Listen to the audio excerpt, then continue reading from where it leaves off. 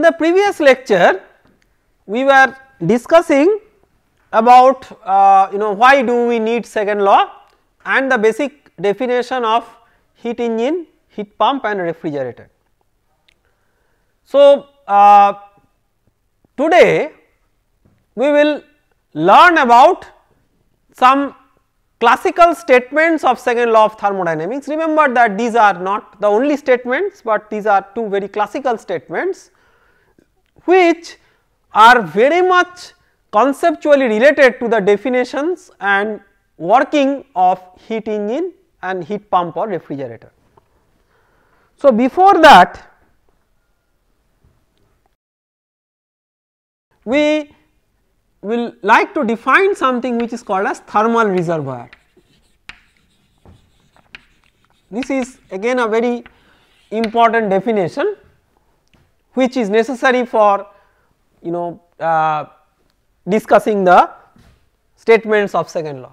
So, thermal reservoir is like uh, something from which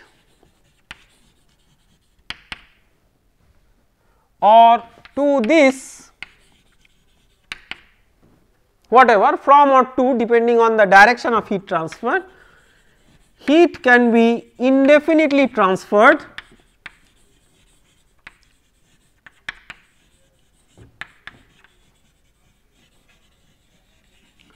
without incurring any change in its temperature.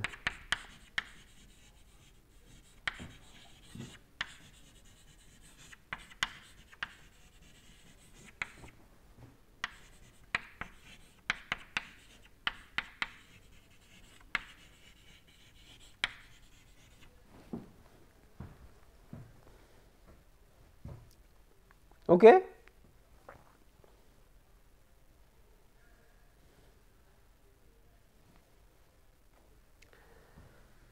So, uh, let me give you an analogous example. Let us say you have a big ocean and you take a glass of water from the ocean or you put a glass of water into the ocean. When you do that will the level of ocean change? I mean it for all practical purposes it does not change. Theoretically it changes because you know whatever is the small amount taken or given uh, that is not 0, but practically the level of the ocean does not change with the addition or subtraction of one glass of water. The reason is that the ocean has such a vast volume of water with respect to that this little addition or subtraction does not make any dif difference. So, similarly the thermal reservoir is like an ocean of thermal energy. So, how it can be perceived as an ocean of thermal energy? It can be something of huge heat capacity. So, by heat capacity you mean the mass into specific heat. So, this is very very high. So, if the heat capacity, so either mass can be very high or specific heat can be very high or their combination can be very high. So, whatever this product has to be very high. So, when you transfer some heat to a body then the heat gained by it is related to this right mass into specific heat into change in temperature even heat lost is also that only delta T sign changes. So, if you have this tending to infinity then this must be having tending to 0 to make the heat transfer finite right. So, that is conceptually what is thermal reservoir again it is a hypothetical concept because nothing will have m into c tending to infinity, but if it is very large the delta t will be practically very small. Okay. So, this thermal reservoir concept is very very important to relate the understanding of uh, heat engine, refrigerator, heat pump with the statements of the second law of thermodynamics. So, we will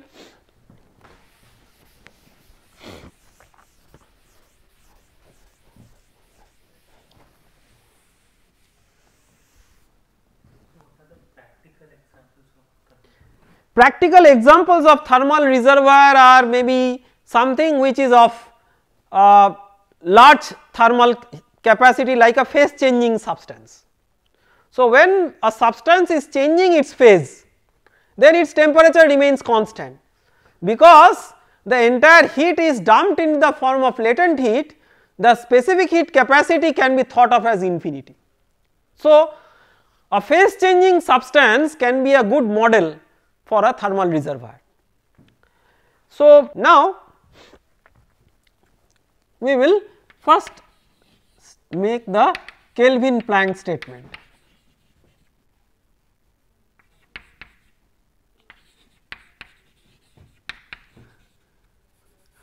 From now onwards to you know save the energy in writing I will call it Kelvin Planck as Kp, Kelvin Planck statement. So, the Kelvin Planck statement let me first write the statement and then I will explain you what it means. So, it is impossible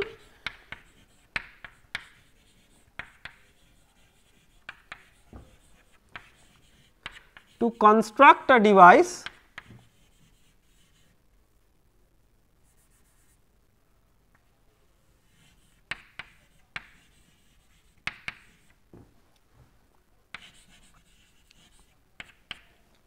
that will that operates in a cycle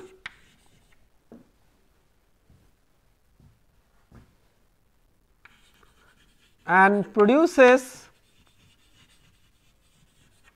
no effect other than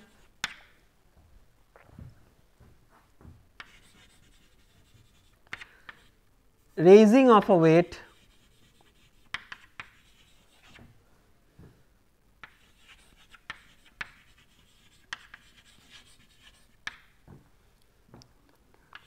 and exchange of heat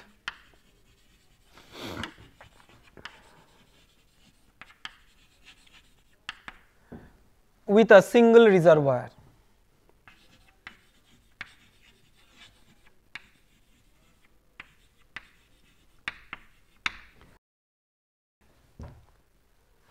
So, see I do not know I mean most of you are very young and whether you have got the experience of reading the sentences constructed by uh, experienced lawyers.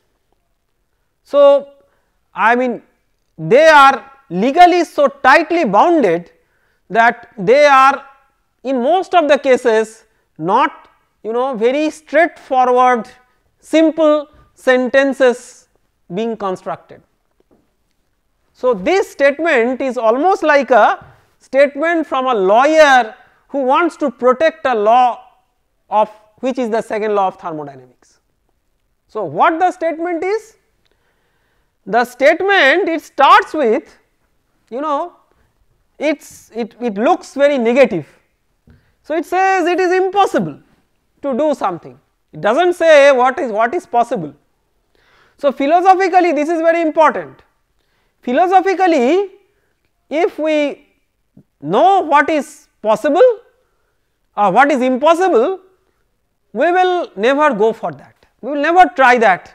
So, for a long time people tried to convert anything into gold out of nowhere. So, these people were called as alchemists and they tried to do that for a long time because they never had a clue that you know by law of science the by law of nature it is not practically possible to have such a process. So, similarly if you know for any particular process what is possible, what is feasible and what is not feasible, you will not try something which is impossible right. So, it is better to you know concentrate on what is impossible and discard that as a you know possible practical uh, development. So, it is impossible to construct a device what that device will do, which kind of device is impossible that operates in a cycle that means it is a cyclic device and produces no effect other than raising of a weight. It essentially means that it produces a net work because raising of a weight means doing work that we have discussed in the chapter of heat and work. An exchange of heat with a single reservoir. Now try to relate this with the concept of the heat engine, heat engine. So you have a high temperature body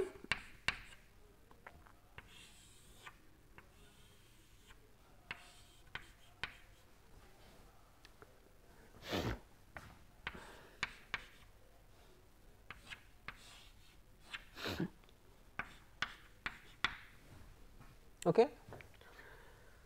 So, you know this law very I mean straightforward way it relates to this that it says that there is a cyclic device this is doing a net work, but it is impossible that it does so by exchanging heat with only one reservoir that means this QL must be greater than 0. You cannot make it run by doing work in a cycle without rejecting any heat to a low temperature body. So, then so this we can say that it relates very nicely with the definition of a heat engine and the efficiency of the heat engine this will therefore be less than 100 percent because QL since QL is greater than 0. So, what is the restriction on efficiency of a second law uh, efficiency of a heat engine that the this Kelvin Planck statement imposes? Simply it is less than 100 percent. It can be anything but less than 100 percent. Then what is that anything we will see that it depends on again some parameters which are primarily the temperatures of the heat source and the heat sink. So, by uh, by the way when we talked about thermal reservoir the high temperature reservoir this is TH it, it, it, it remains as TH. So, that is why it is a thermal reservoir TH is greater than TL so, this is called as heat source and this reservoir is called as heat sink. So, these are you know some basic terminologies. I believe that you already know these from your school level understanding of thermal physics, but you know this is just a recapitulation of uh, what we are going to talk about. So, that other statement, so we have covered the heat engine performance with, uh, with the aid of this definition, but we have not covered the refrigerator or the heat pump performance with the aid of this definition. So, we require another statement which covers the refrigerator and the heat pump. So, that is governed by Clausius statement.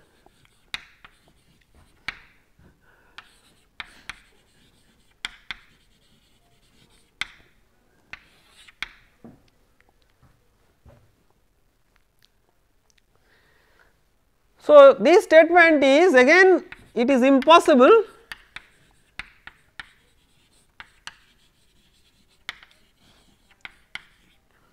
to construct a device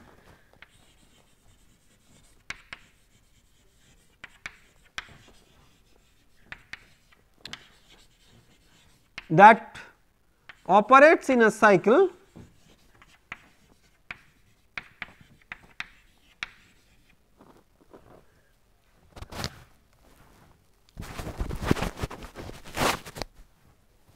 and produces no effect other than effective transfer of heat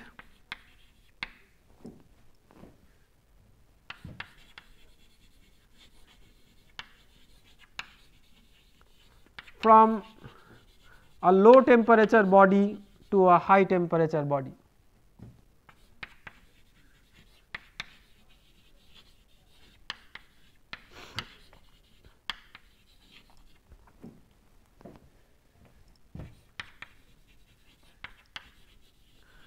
Devices that attempt to have an effective transfer of heat from low temperature body to high temperature body are refrigerators and heat pumps.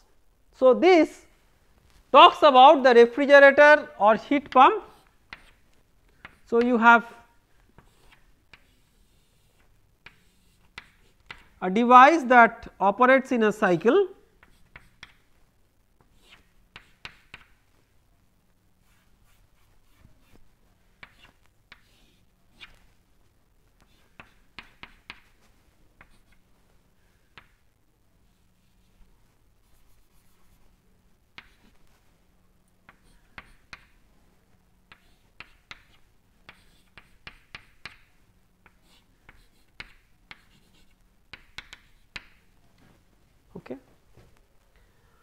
So, this, uh, this statement says that you know this device cannot just transfer this QL from here or cannot take some heat from here and directly transfer to the high temperature body without being intervened by a device that takes some work input in a cycle right.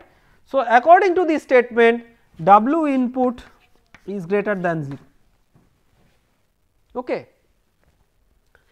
So, when W input is greater than 0 what it means is that the coefficient of performance which is either QL or QH by W input the coefficient of performance has W input in the denominator. So, if that is greater than 0 that means coefficient of performance is less than infinity. So, you cannot have an infinitely large coefficient of performance. Okay. The other point that I would like to mention you know this creates a very common misunderstanding that as if by doing this giving this work input you can transfer heat from low temperature body to high temperature body directly you cannot do that that means when you are transferring heat from here to here effectively you are doing it through the device. So, the direct heat transfer is not taking place from here to here, direct heat transfer is taking place from here to the device and from device to here. So, here if this temperature is whatever this temperature has to be at least a little bit lower than this you know.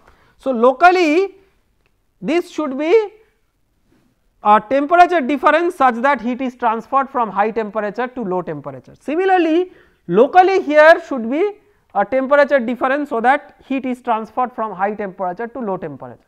So, not that we are transferring heat directly from low temperature to high temperature by this means.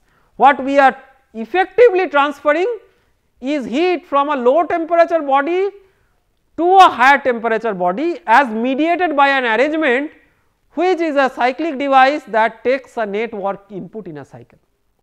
That is the whole idea behind this. Now, the next question is that we have uh, one statement which relates to the heat engine, another statement which relates to the heat pump or refrigerator. So, these are you know why these two are two different statements? Heat engine is a work producing device and refrigerator or heat pump is a work absorbing device. So, most of the thermodynamic devices which involve work transfer are either work absorbing or work producing. So, they are covered by these statements and then but the question remains that you know both are corresponding to second law of thermodynamics. So, are these statements equivalent?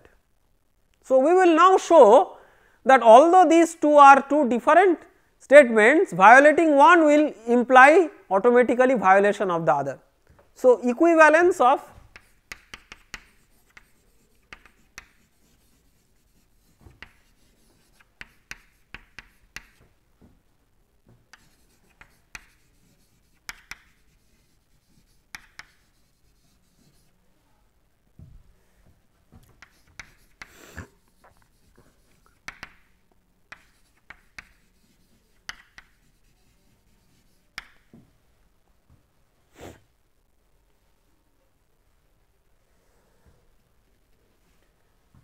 Let us say, uh, let me draw the schematic here. There is a heat engine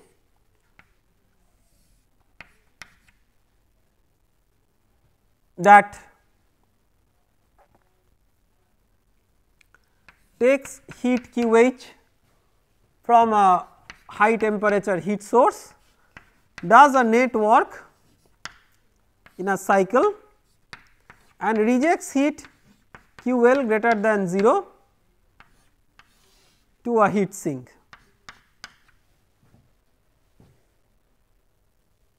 Okay.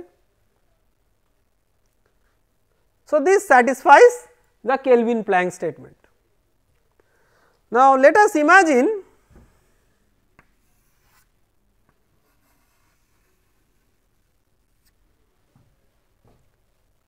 that there is another device which is a heat pump or a refrigerator. So, this is heat engine, this is heat pump or refrigerator.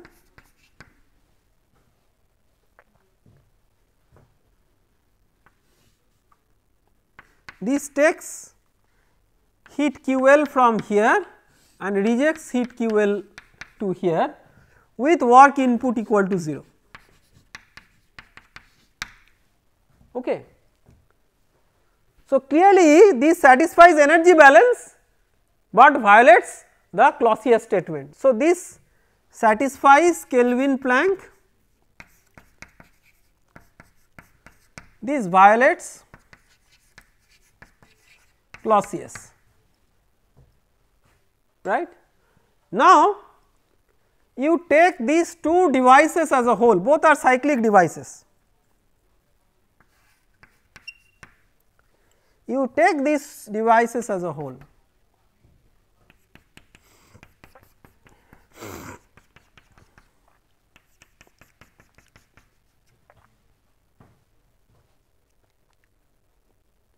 So, overall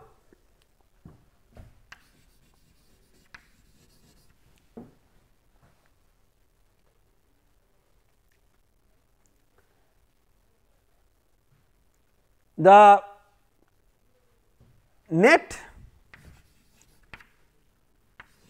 QH that is QH minus QL net work this is W net this is QH minus QL and net heat rejected QL taken from here and QL taken in this direction. So, this is 0.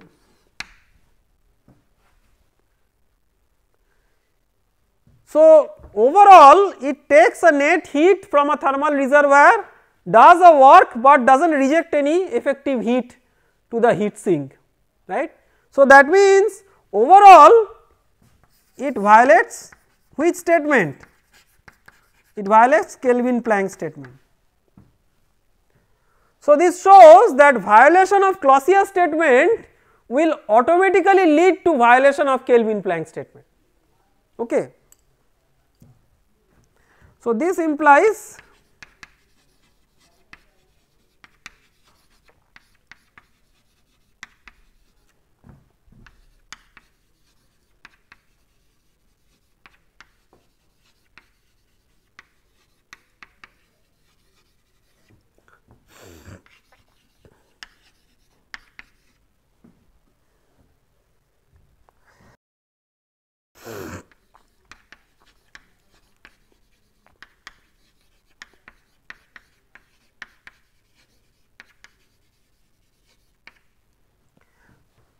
violation of Clausius statement automatically, automatically leads to violation of Kelvin Planck statement.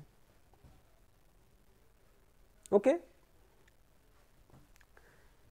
Similarly, you can see these are all thought experiments in thermodynamics these are called as thought experiments nobody is actually you know putting a device and testing it in this way, but these are hypothetical imaginary experiments that can make you relate various statements of the laws of thermodynamics.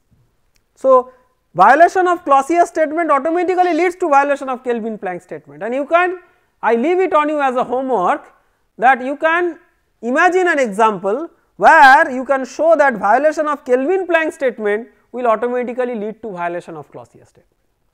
So, that means the Kelvin Planck and the Clausius statements are equivalent they are just different statements because of the context in which these statements are used. Let us stop here today. Thank you very much. In the next lecture, we will start understanding about you know based on these statements what are the possible processes and what are the possible devices, what are the most ideal processes, what are the most ideal devices. Thank you very much.